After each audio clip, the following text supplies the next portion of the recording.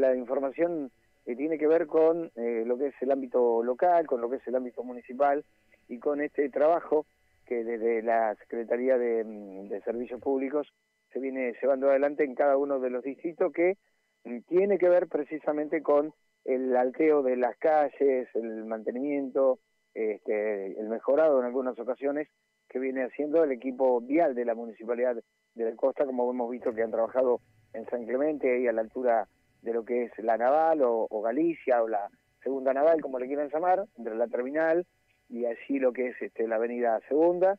Eh, también lo hemos visto ese mismo trabajo que se está realizando en las Toninas. Y por cierto, ya que hablo de las Toninas, es muy bueno ese trabajo que ya Google empieza a mostrar en algunas este, imágenes fotográficas lo que tiene que ver con la puesta en valor del Frente Marítimo ahí en las Toninas.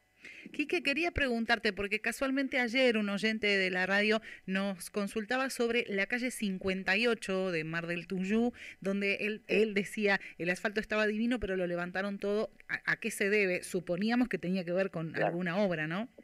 No, indudablemente que, que el asfalto no estaba divino, el asfalto no estaba divino, había había mucho bache y es un trabajo de es un trabajo de rebacheo que se está haciendo y no es que eh, tomaron la decisión de reafaltar. Cuando se hace el rebacheo es está el asfalto divino en un lado y llegas a un lugar y hay un, cráter y se va y se, se tira asfalto caliente en ese cráter. Bueno, ahora tomaron la determinación de hacer, porque es un programa, aparte que todos los años se hace, de reasfaltado, este, hay que levantar el asfalto, eh, dejarlo secar, hay mucha gente que se está incluso hasta quejando que por qué tantos días, por ejemplo, la, la avenida 7 de Las Toninas, la misma 58, la calle 14, por qué tantos días que se levantó el asfalto este, y no se, no se asfalta, que han quedado los surcos, que han quedado pozos. Bueno, eso tiene una explicación.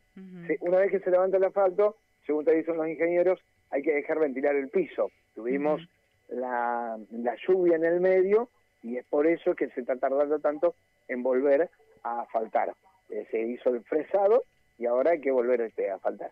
Tanto sea la 58, la 14, la 26 de las Toninas, la 44 de las Toninas, la avenida 7 de las Toninas, todo lo que son al centro.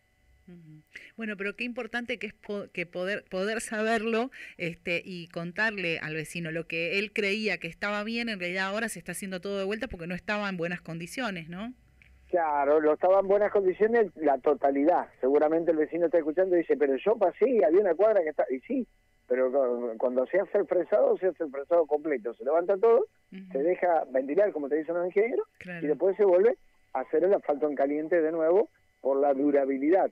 Porque si no, después, dentro de un año, tenés la crítica de, ah, faltar y ya se rompió todo. Sí, porque en más de una ocasión ha pasado de que se hizo el fresado, que es levantar el asfalto, y le tiraron la falta a la semana y a lo, al, año ya está todo marcado de vuelta o todo rajado, ¿no? Más allá de que también tenemos una legislación que no es respetada puntualmente por las empresas, por las empresas grandes, por los corraloneros que tienen los corralones adentro de los pueblos y que meten los camiones con demasiada cantidad de toneladas por distintas calles, careados, y que alguien me estará escuchando y diciendo, ¿y cómo quieren que lo entre? Es verdad, es verdad, como no somos una zona industrial, no tenemos este, playones de estacionamiento de camiones como si lo tiene, por ejemplo, Dolores, por citar a Madariaga, por citar algunos de los lugares. Nosotros, como no somos zona industrial, no lo tenemos, no somos un municipio industrial. Por eso no tenemos parques industriales.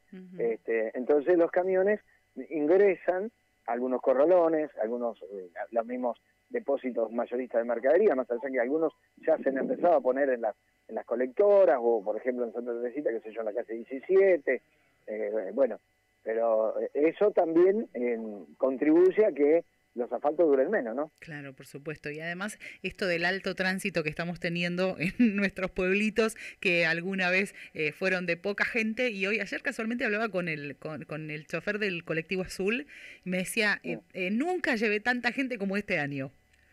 No, claro, nosotros, nosotros tenemos Primero tenemos este un, una, una, un asomo, un nacimiento de aproximadamente 1.300, entre 1.100 y 1.300 chicos por año nacen en el Partido de la Costa.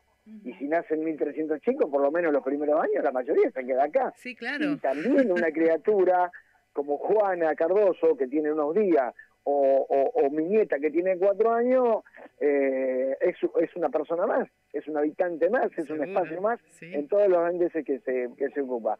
Y después, no te olvides, vos como yo que somos nativos de acá, que nosotros tenemos un este, aparcamiento de gente mm, en verano que se queda. Mira, recién vengo de estar hablando con una familia acá en Santa Teresita que me dice, nosotros vinimos acá de vacaciones, como mucha gente. Vos fíjate que, por ejemplo, los padres de Cristian Cardoso a la costa vinieron de vacaciones.